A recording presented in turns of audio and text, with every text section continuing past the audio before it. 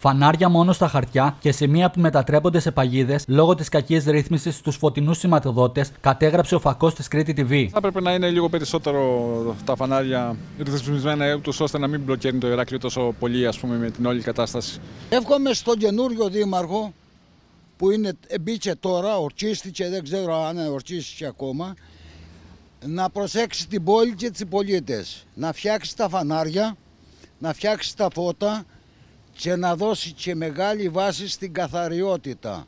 Αν μπορεί να φτιάξει τη διαβάση, να γράψει τα αυτοκίνητα που είναι στο διάβαση αναπήρων πεζών και αυτά και να βάλει και κάμερες.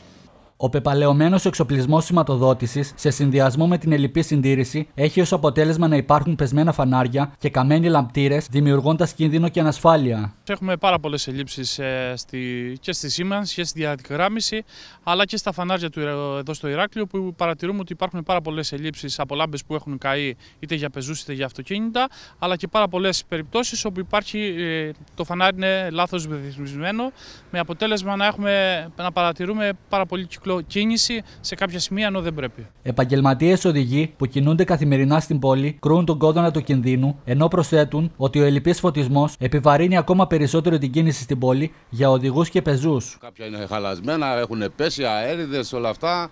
Θέλουν γενικότερα μια συντήρηση, πιστεύω, και σε κάνα δυο κάποιες ρυθμίσεις. Γνωρίζουμε πολύ καλά ότι υπάρχει ένα χρόνιο πρόβλημα όσον αφορά είτε με τα φανάρια είτε με το κυκλοφοριακό του Ηρακλείου.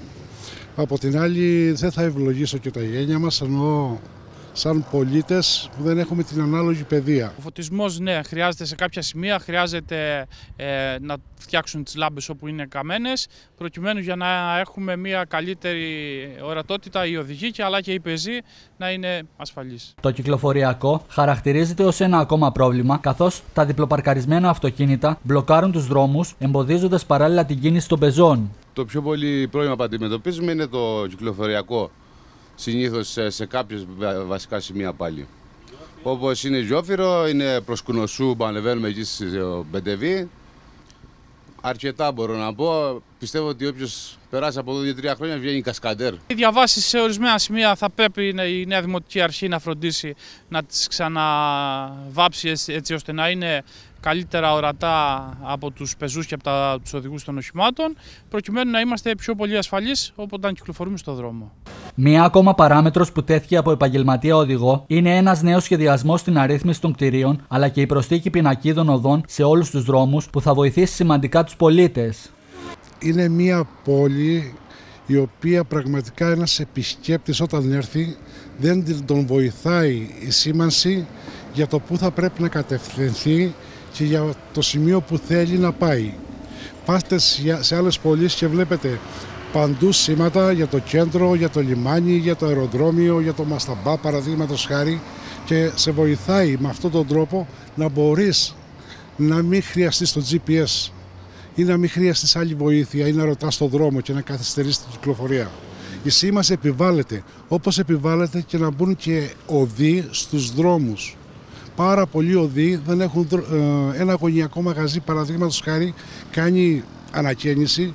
Το πρώτο μέλημα που θα έπρεπε να κάνει είναι να βάλει την οδό ξανά πίσω. Αριθμίσεις στα σπίτια δεν υπάρχουν